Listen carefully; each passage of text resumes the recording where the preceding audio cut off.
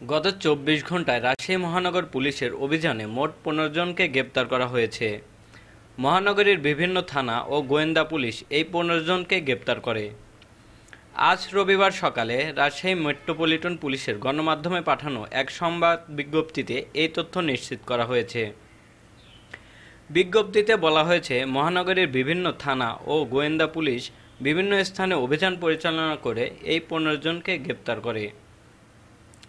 গ্রেপ্তারকৃতদের মধ্যে বোয়ালিয়া মডেল থানায় দুইজন, রাজপাড়া থানায় দুইজন, চন্দিমা থানায় একজন, মথিয়ার থানায় একজন, কাটাখালী থানায় দুইজন, শামুকদম থানায় একজন, পবা থানায় দুইজন, কাশিয়াডাঙ্গা থানায় দুইজন ও ডিবি পুলিশ একজনকে আটক করে।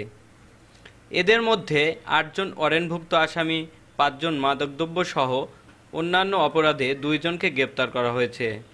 মাদক মামলায় অভিযুক্ত আসামিদের হেফাজত হতে বিশ দশমিক আশি গ্রাম হেরোইন, তিরিশ পিস ইয়াবা ট্যাবলেট ও আশি পিস ট্যাপেন্টাডল ট্যাবলেট উদ্ধার হয়। গ্রেপ্তারকৃত আসামিদের বিরুদ্ধে আইনগত ব্যবস্থা নেওয়া হয়েছে। Sujan Hossain, desk report, Nabarup TV.